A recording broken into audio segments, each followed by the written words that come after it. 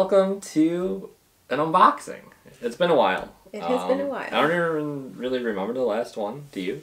The EOS R. Oh, how could I forget? R for Rosemary. How could I forget R for Rosemary? but this time we are here. Oh no! why? Why that? for me. Okay, R for Rosemary. So today we are here with the Novation Launchpad X. So this is something a little bit different. Um, we have been doing some musical things, and Lots of music. Lots We were of musical things. we were looking at a way for me in particular to figure out how to perform electronic music, and it looks like maybe this is the first step. Because he does a lot of um, production streams right now on Twitch. Uh, Twitch.tv slash Studio. Thank you. um, and like just like does the production of like putting the song together. But we were like, well, how can you? Yeah, shout out from from Cat Stitch. Um, um, but we were trying to figure out like how he could actually perform some of his songs if he wanted to, or like just have like a more dynamic way of putting his songs together. Because we have the little keyboards right now. Yeah, we got little MIDI keyboards. They're like 25 keys or whatever the standard is for that size. Yeah. Little ones. Mm-hmm. And it has some like buttons, but I feel like this is Yeah, so the, the Launchpad X has 64 pads. Uh, they're all pressure sensitive. So I think that's a kind of a important thing is that you can capture like kind of minute differences in the way that the buttons are pushed. So things sound a little bit more organic.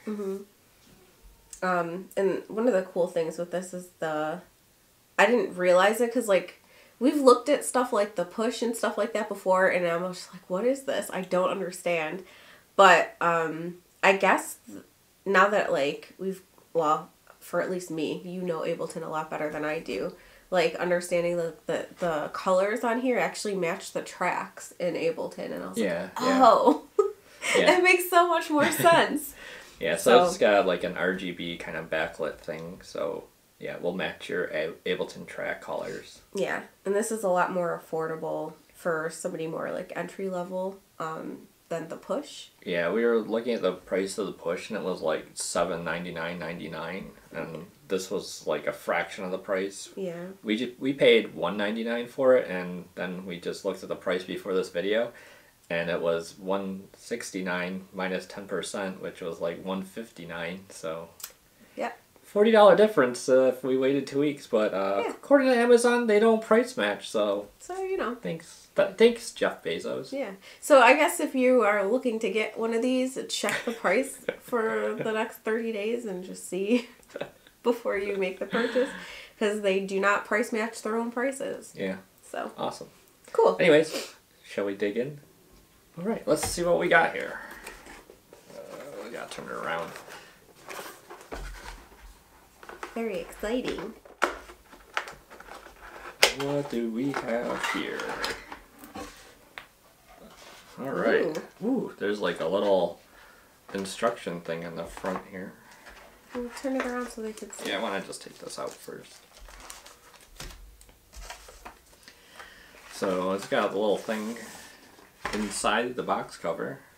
Three easy steps, I think. I didn't really count, but e- either way, yeah.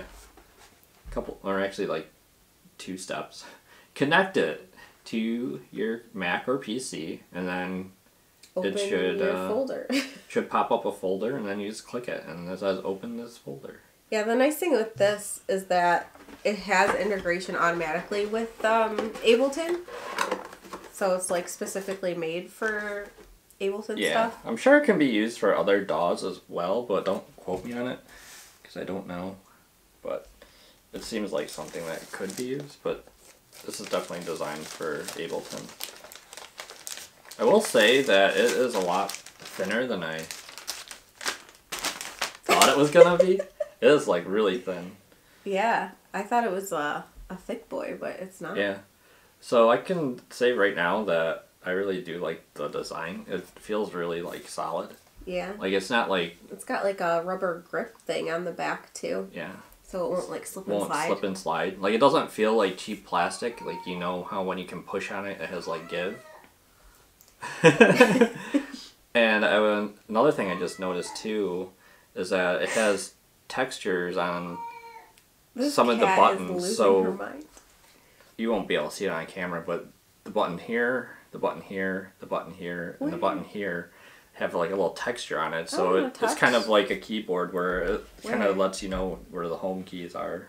So each corner. Oh, yeah, it's got like a little like bevel or something. Yeah. So, it, So then you can kind of like yeah, you, eventually you probably hit like muscle memory and kind of just know where you are. yeah. So yeah, it looks like it comes with the USB cable here. So no external power, just powered by your computer. That's also nice to not have to worry about like a battery or, or another power source or something. So yeah, so the USB looks like it goes on the top here, and then it also has a, a lock. So if you get like a desktop lock or something like that, you can lock it down. Mm. So I guess one of the biggest things about this one is that they're all um, pads.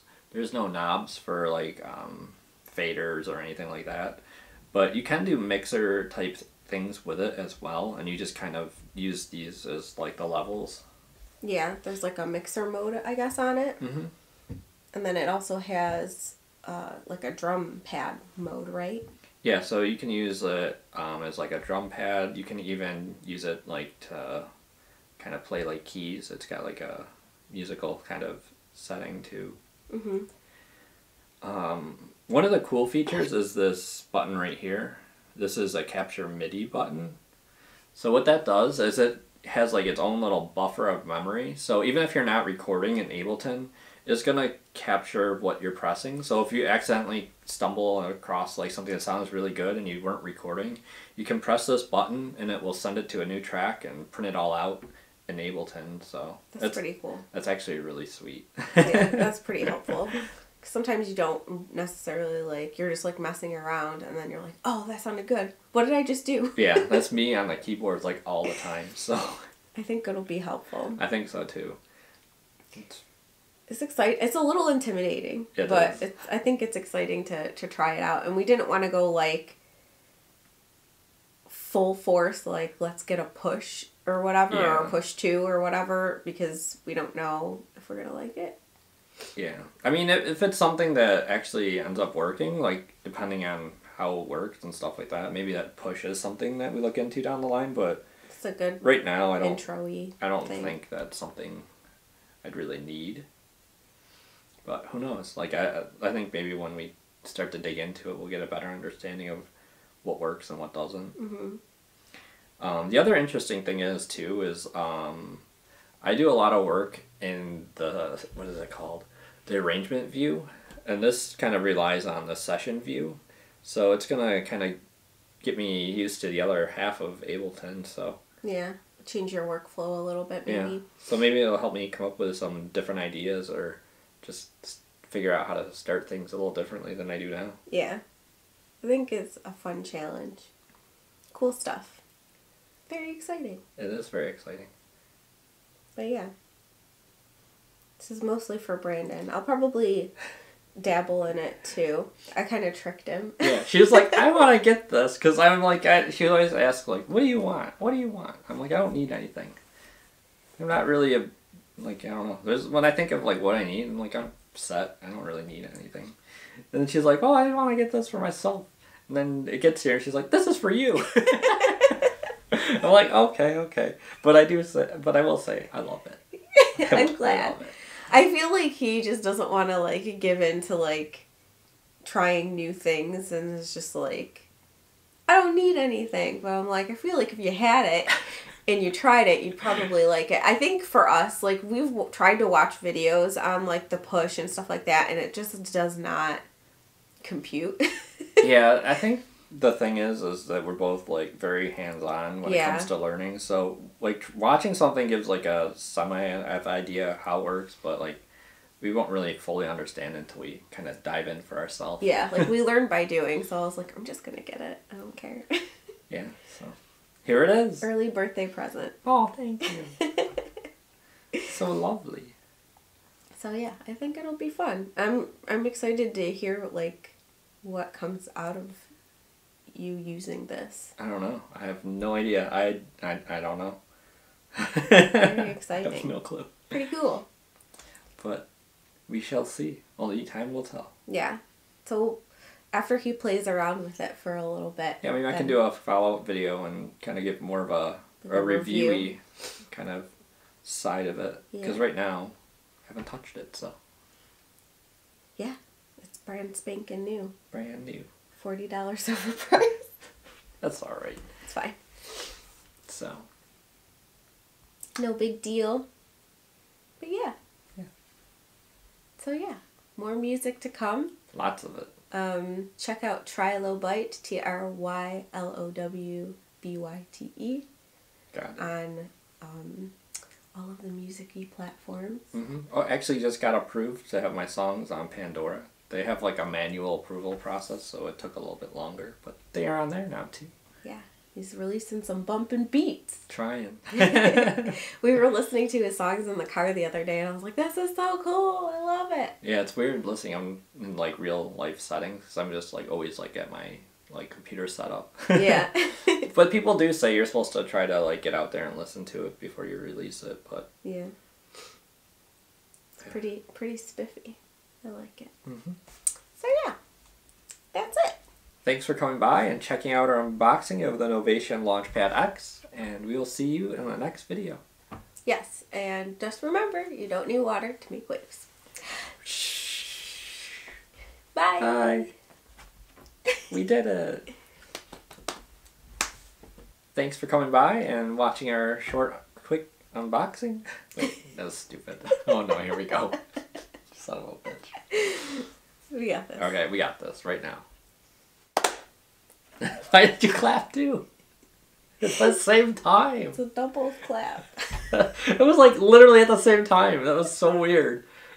I would have been fine to finish this video. Now, now it's done. We're off the rails now. It's over. It's over. It's a wrap. Don't make me cry. Don't make me cry. Okay.